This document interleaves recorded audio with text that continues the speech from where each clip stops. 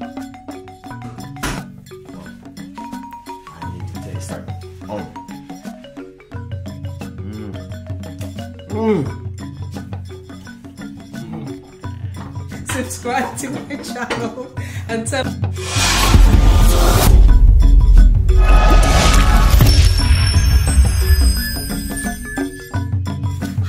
Kirly Sue, and if this is the first time you're coming to my channel, welcome to Kirly Sue's Kitchen. Today I'm going to be making pulled oyster mushrooms, and I have a guest, the wonderful Ringo from Ringo Vision. He's also a YouTuber and a wonderful chef as well. One, one, people.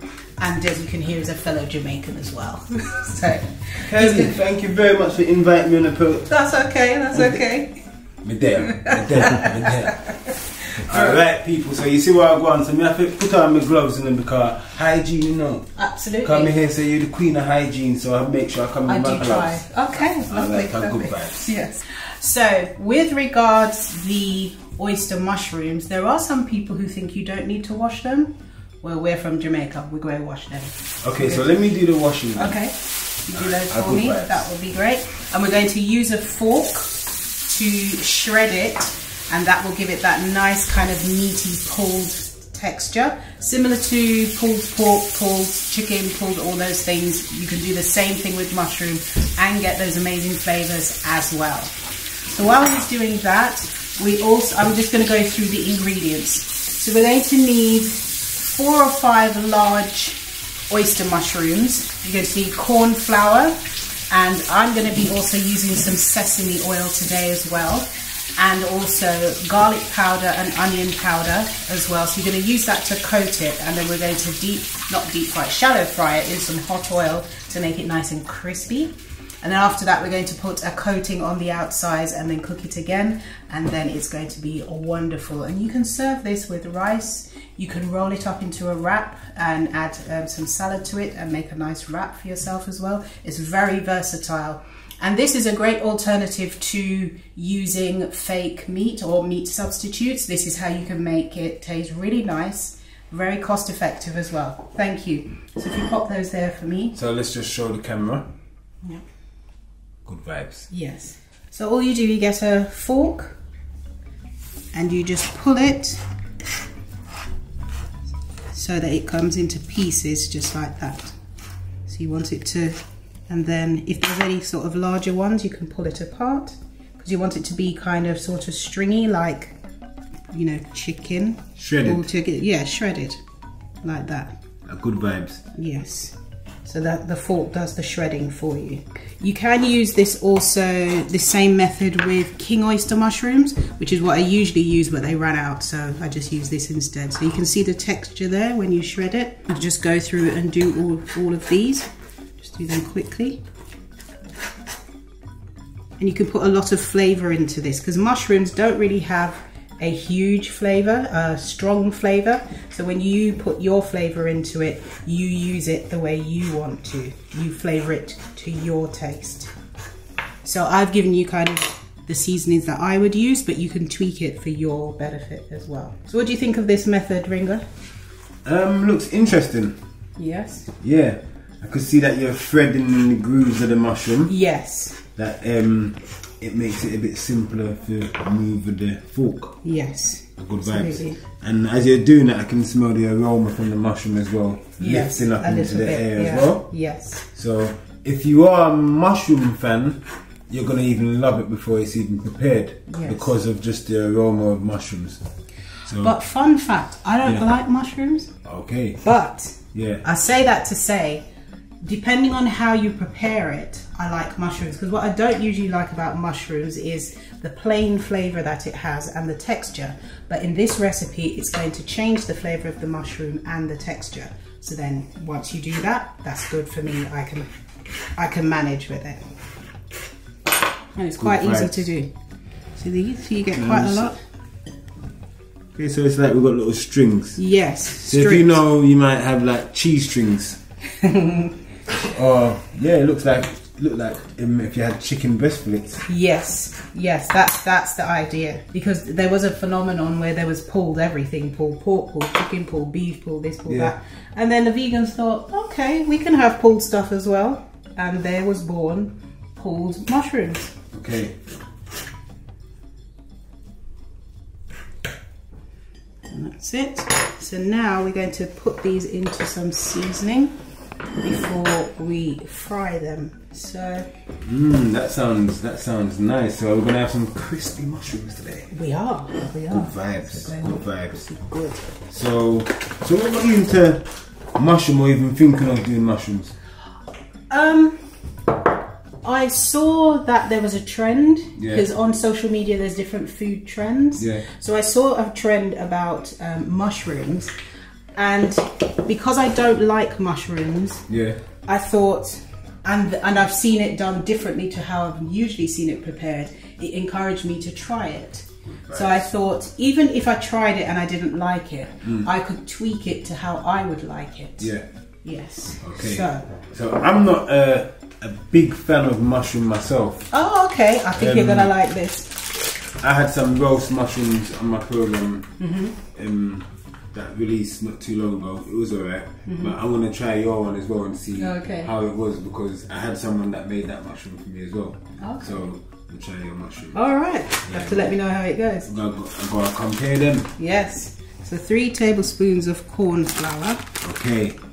So the amazing corn flour, everybody. Do you know what corn flour does to your food? Okay, corn flour gives a slow frying process when you're coating, and it gives a nice crisp to whatever you add it to, whether it's mushroom, whether it's chicken, whether it's fish, whether it's vegetables that you want to fry up.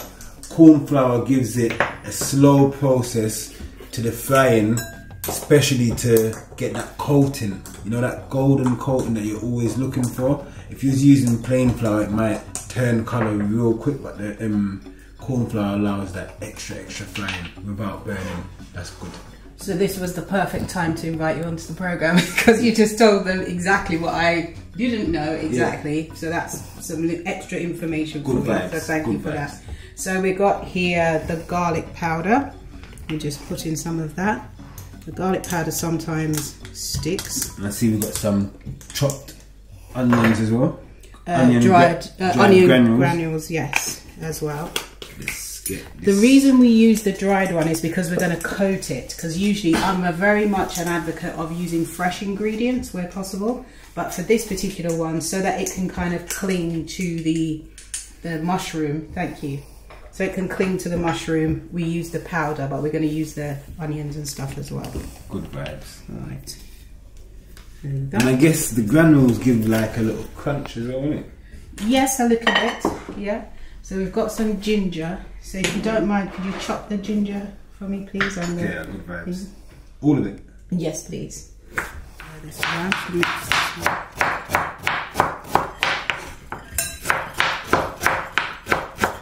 So I just mix the um, onion and garlic powder into the corn flour.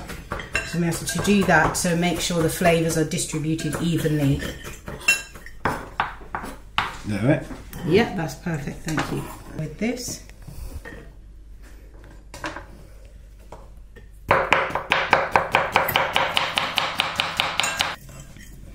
I can smell all the flavours coming together. Right, I'm going to start the oil because we're going to need the hot oil. So need to add the chopped garlic in as well. Sorry. Because the secret to flavouring the mushrooms is to add the same sort of seasonings you would use if you're using pulled pork, pulled chicken, pulled beef. The same sort of seasonings you would use for that kind of dish. Use the same sort for a pulled mushroom dish as well. Great job, thank you. Lynn? If you put that in for me, please. Yeah. Thank you. Right, just stir that round. So mix alright, so we've got, we've got something going on right now. Yep. So we're going to put some salt and pepper, some black pepper.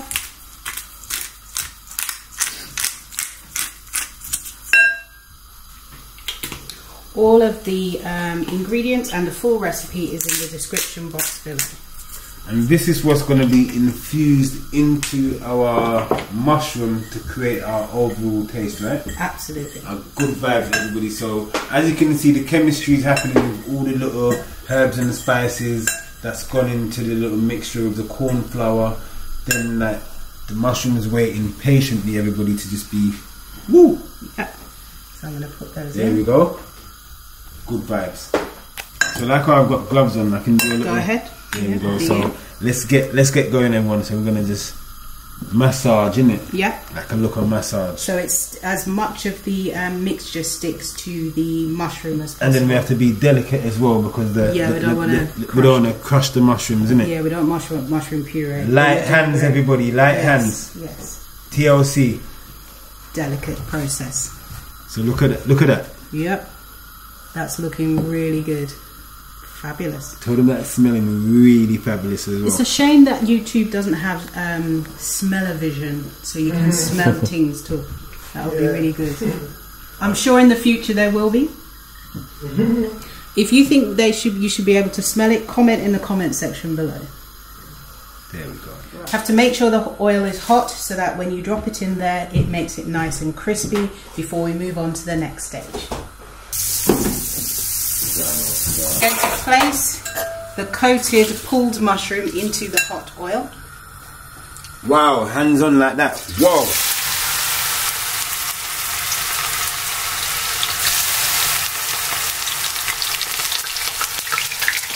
Good vibe. So how long will it cooking to fry for now? Just a, um, a few minutes until it's crispy, and then that's it. We just take it out to drain.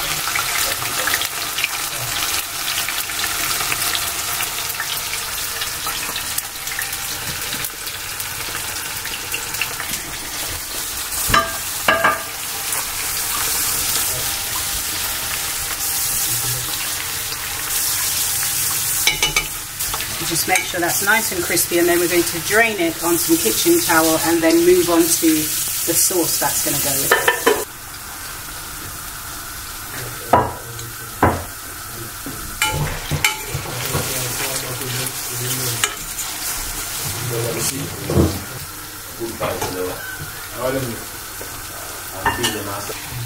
You keep moving it around to make sure it doesn't stick. You just keep going until it's nice and crispy.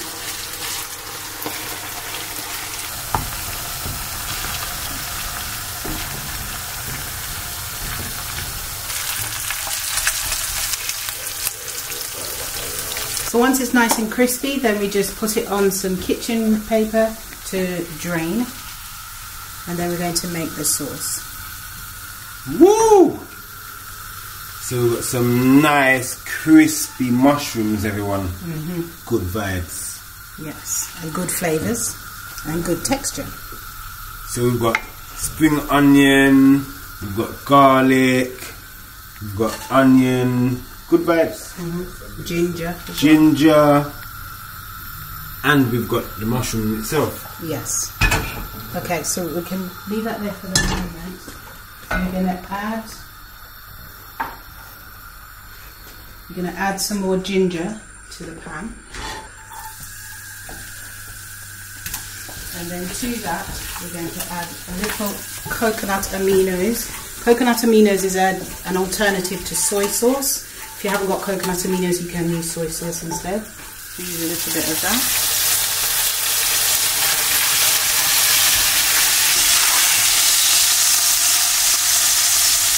And we're going to have one tablespoon of tahini.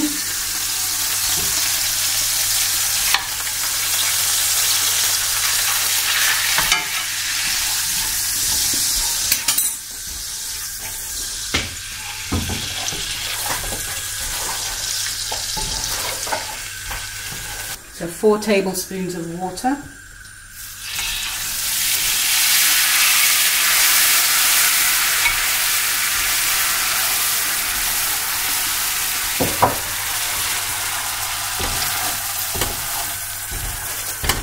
And we're going to put in two tablespoons of sugar, brown sugar.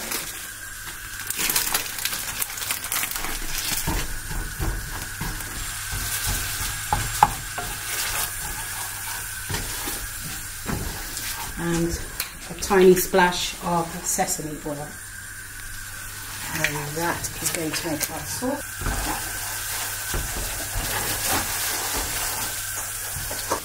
So that we keep going until that becomes a smooth sauce and then we're going to put the mushrooms, crispy mushrooms back into it, stir it around and then we're ready to try it.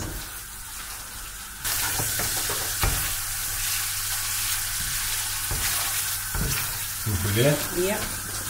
Yeah, I think we're there. So if we just put this back in.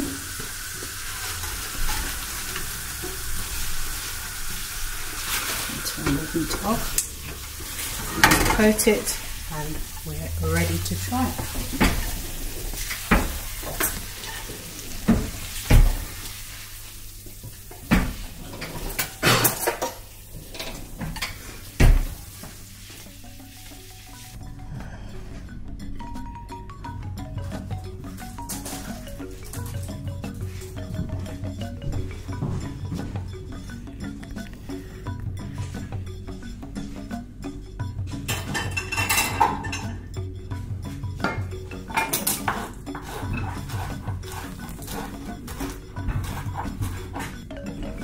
Just to give it a little extra colour and texture, just put some chopped spring onion on top.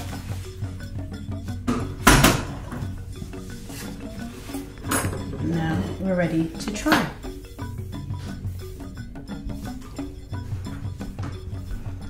Hmm. I love the crunch. Very nice. Taste the ginger. Mmm. I think I need some tasters to come in and try this. So Yep. we've got Ringo. Good vibes. Uh, how's So, it taste? yeah, man, I'm gonna see.